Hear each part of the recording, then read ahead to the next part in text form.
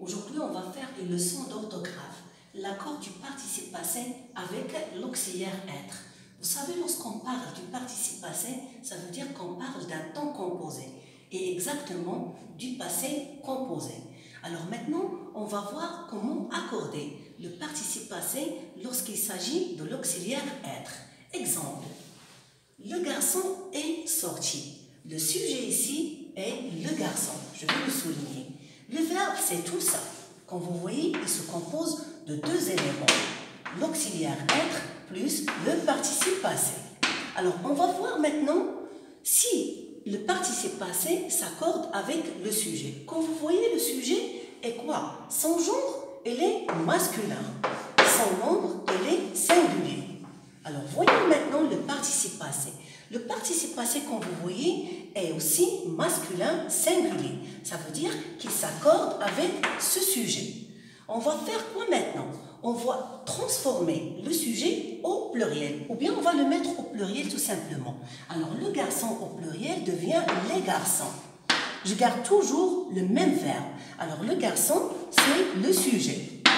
Le verbe, c'est sont sorti. Comme vous voyez, toujours deux éléments, l'auxiliaire plus le participe passé. On va voir maintenant si le participe passé s'accorde avec ce sujet. Bien sûr, on va chercher le genre et le nombre de ce sujet. Pour le genre, il est masculin toujours. Et pour le nombre, il est pluriel. Donc, pour le masculin, ça veut dire qu'on ne va rien ajouter. Mais lorsqu'on a le pluriel, et vous savez que la marque de pluriel, c'est S, surtout pour les verbes. Donc, regardez ici sorti. On a ici I seulement. Alors que ici, on a ajouté S. S, c'est la marque de pluriel. Alors, qu'est-ce qu'on peut dire?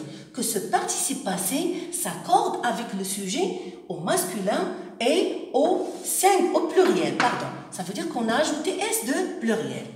Maintenant, on passe à la deuxième phrase.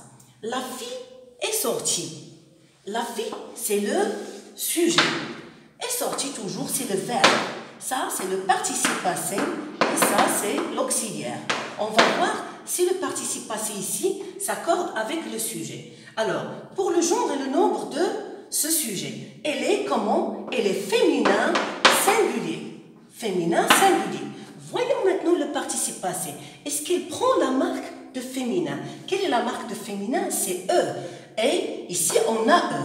Alors, on peut dire que le participe passé aussi, elle est singulier féminin.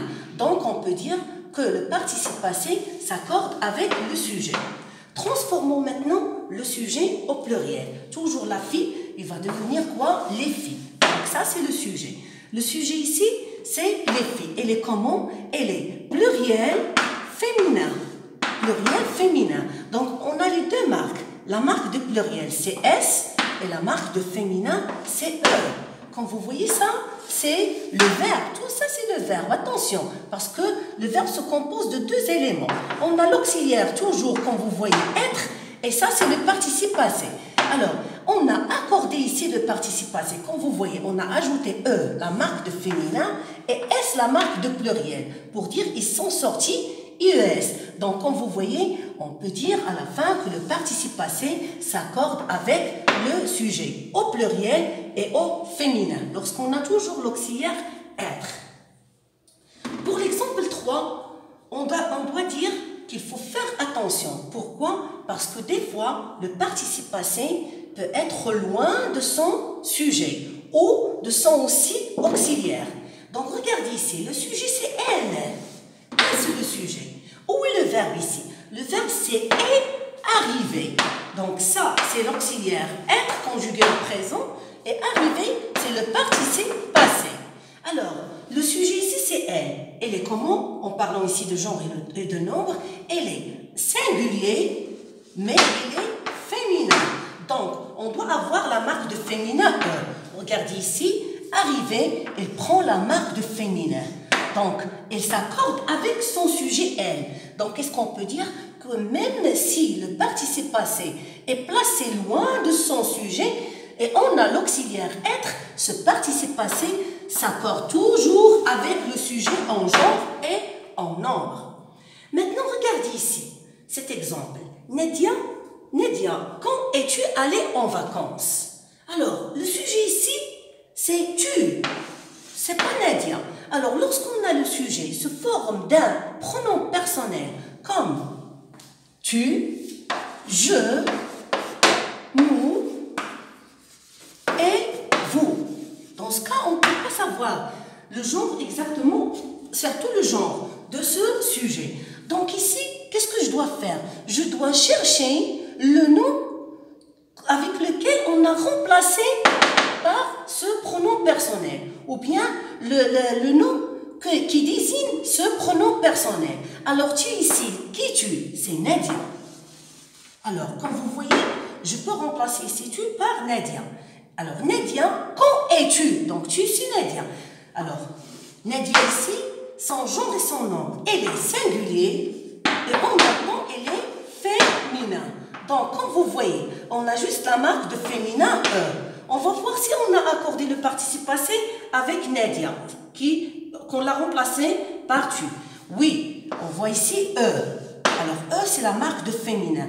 Donc, comme vous voyez, aller et s'accorde avec ce sujet.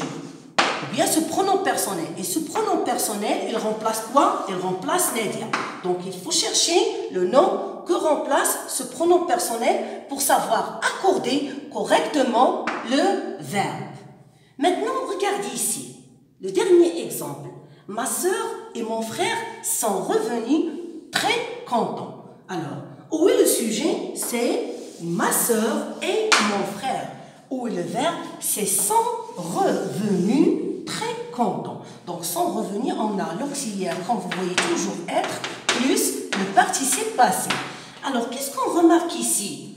Que ce groupe nominal sujet se compose de quoi? De deux sujets. De deux sujets. Lesquels? C'est ma soeur, c'est le premier, et mon frère, c'est le deuxième. Donc on a quoi? On a déjà le pluriel. Donc pour le, bien sûr, euh, le nombre, on a le pluriel. Alors le problème ici, c'est qu'on a ma soeur est féminin et mon frère, elle est masculin. Donc, pour bien sûr, le, comme j'ai dit, euh, la marque de, de verbe, est-ce qu'on va mettre le féminin ou le masculin? Si on parle du genre, pour le nombre, c'est facile. On a déjà deux sujets, ça veut dire qu'on pluriel. Quand vous voyez ici la marque de pluriel, c'est S, on a déjà S. Donc, lorsqu'on a deux sujets, un est masculin, le deux est féminin, en quoi on accorde avec le masculin et pas le féminin? Donc, comme vous voyez ici, on n'a pas mais euh, tout simplement parce que le participe passé doit être comment? Doit être masculin, bien sûr, pluriel. C'est ce qu'on a fait ici. Alors, on a accordé avec le masculin et le pluriel, et pas le féminin. Mais si on a ici ma soeur et ma mère, on doit mettre eux, bien sûr, la marque de féminin. Mais si on a même deux sujets ici, féminin et un seul mot qui est masculin, on accorde avec le masculin. Et bien sûr, on doit avoir le pluriel. Alors, comme vous voyez, même ici, regardez ici, on a ici un adjectif.